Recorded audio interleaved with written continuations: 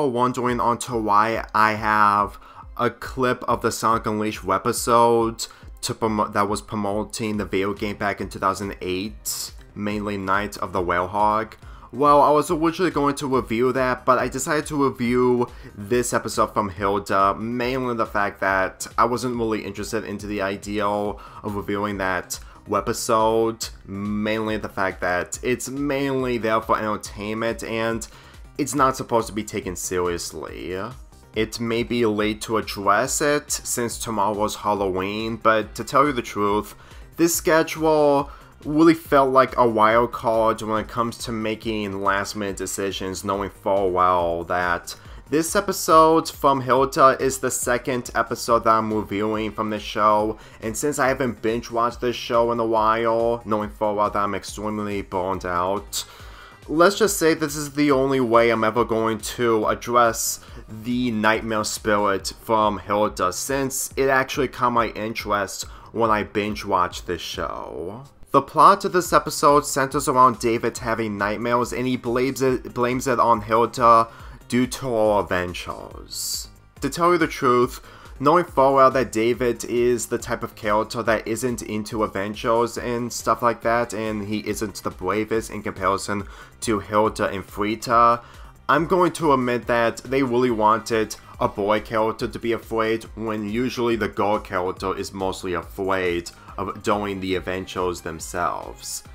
Believe me when I say this, is that when you have this method of having the character being afraid of the adventures, it's usually a girl. But since that David is a boy, it actually it actually makes this a lot more different considering that the reason onto why he keeps having nightmares is what makes the pacing of this episode really good. Knowing forward that they encountered teenagers that are weird, and then they came across the Rat King, who are the keeper of our secrets. And to tell you the truth, knowing forward that this is the episode where we realize that Hilda is afraid of nothing, really goes to show that the outcome towards the end really makes this somewhat of an interesting subversion if you watch this show for the first time.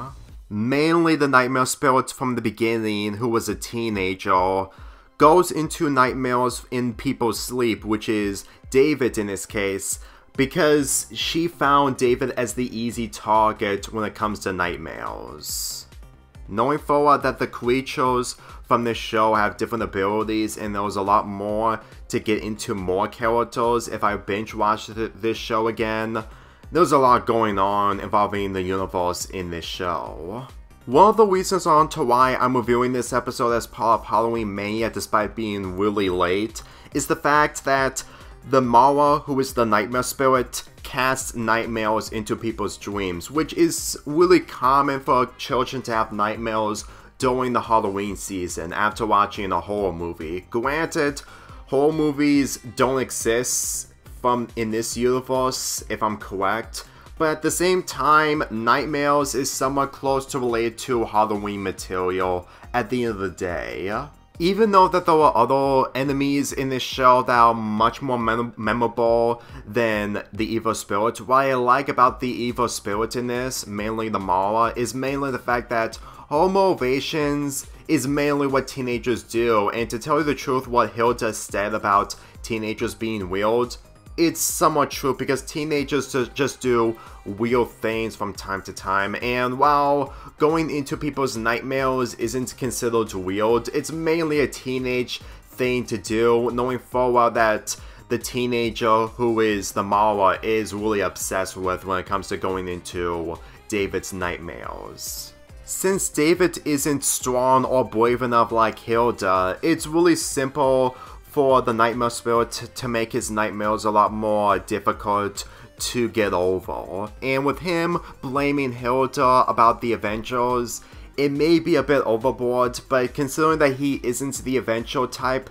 it really makes sense. And since these types of shows have a main character do different things while the other characters are against what those characters do to the point that they blame the problems on them, it's somewhat natural to say the least. Believe me when I say this, even if you can tell that the other shows that handle this formula was done a lot more differently.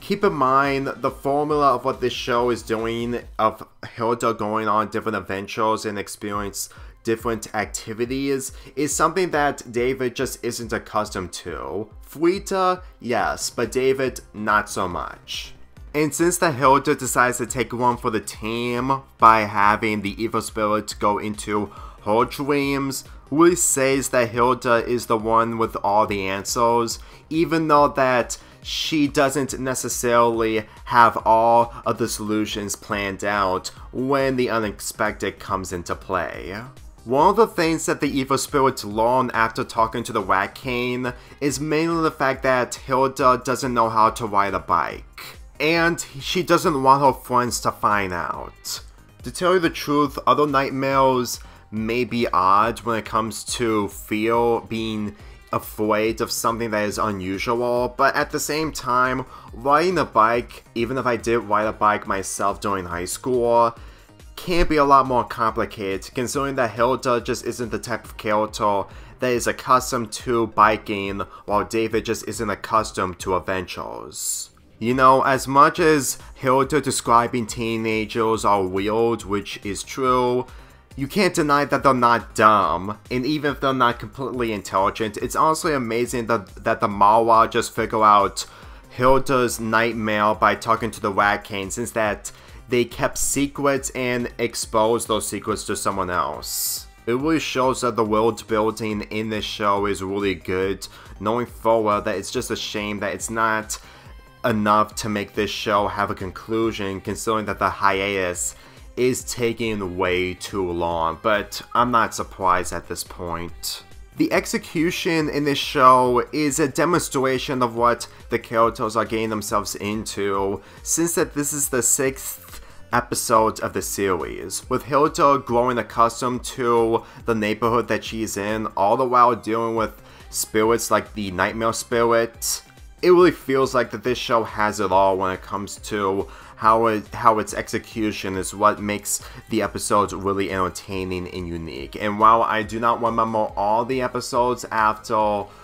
taking a break from it, my memory will come back to me upon rewatching the episodes. Granted, I could watch the new episodes, but believe me when I say this, it's difficult to get back into these Netflix shows, since that the She-Ra and Hilda series were literally the only series I ever watched involving animation on Netflix. With that being said, yes, I'm taking another hiatus from the show, and I don't think I'm gonna be able to find another episode to review, but you never know. Granted, it may be debatable if this show is mostly entertaining of how it's been on hi hiatus for almost three years, two if you want to qualify the movie. But then again, Netflix series just isn't really my thing, and I mostly watch series that are available that are from other networks and whatnot. Not saying that Netflix can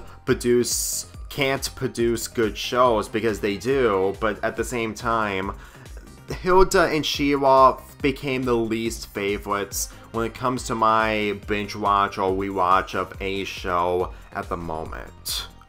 I'm giving this episode a 7 out of 10.